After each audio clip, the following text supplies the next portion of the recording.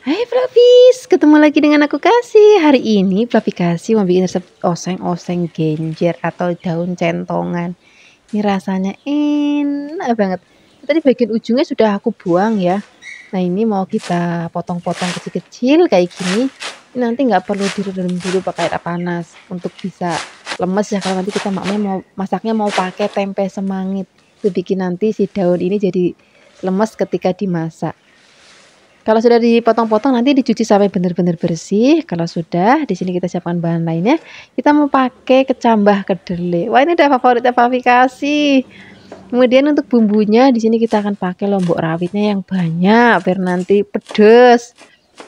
Dan ada lombok rawit atau cabai rawitnya di sini kita akan tambahkan juga ada bawang putih.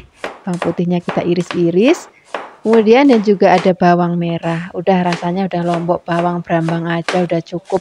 Yang penting nanti kita tambahkan juga ada tempe semangit. Ini kunci masakannya biar nanti enak, wangi, pelapis.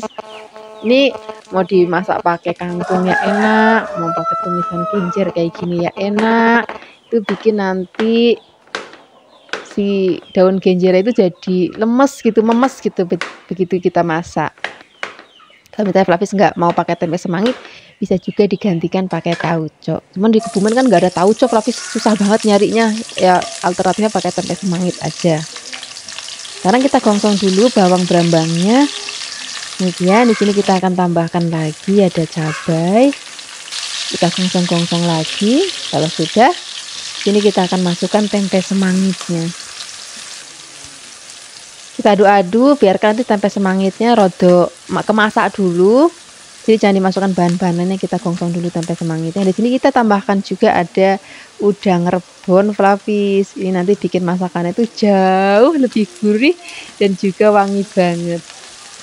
Kita aduk-aduk kalau sudah wangi banget baru di sini kita akan masukkan godong genjernya dan juga kecambahnya sekaligus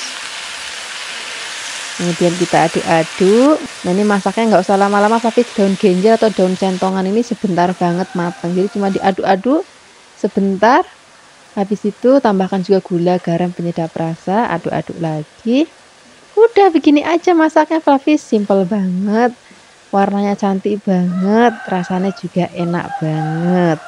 Usah lama-lama lagi kita akan langsung sajikan di meja makan. Udah sarapan pagi pakai nasi terus pakai oseng-oseng kayak gini udah nggak perlu lain lagi. Terima kasih banyak ya sudah menyaksikan video aplikasi hari ini. Semoga kalian suka dan mencobanya. Yang belum subscribe, jangan lupa subscribe ya. Dadah!